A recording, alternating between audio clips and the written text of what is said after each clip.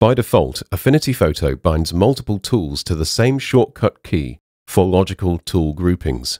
For example, all of the main retouching tools are grouped under the J key.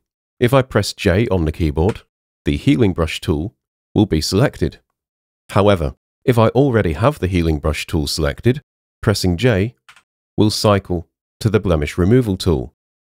A third press will cycle to the patch tool. A fourth press will cycle to the red eye removal tool.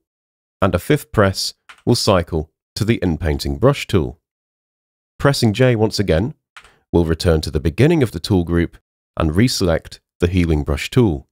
If you select a tool that does not belong to a tool group, you can use the same key to toggle between that tool and your previously selected tool. For example, I can use B to select the paintbrush tool, and if I press B again, I can now switch back to the healing brush tool.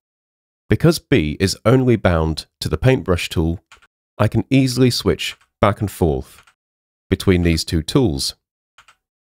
If I now use H to select the View tool, I can press H to toggle back to the paintbrush tool. This behavior does not work for tool groups. So for example, I can press M to switch to the rectangular marquee tool.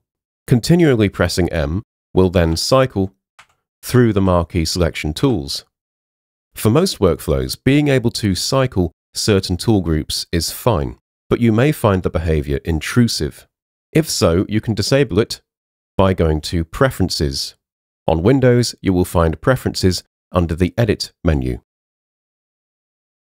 Under the Tools section, you will find an option called Use Shift modifier to cycle tools.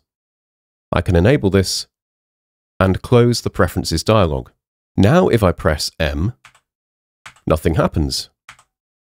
In addition to the shortcut key, I now have to hold Shift in order to cycle the tool groups. So I can do this with the marquee selection tools and also the retouching tools. Pressing J no longer cycles the tools on its own. I have to hold Shift while I press J. So that was a quick overview of tool cycling in Affinity Photo.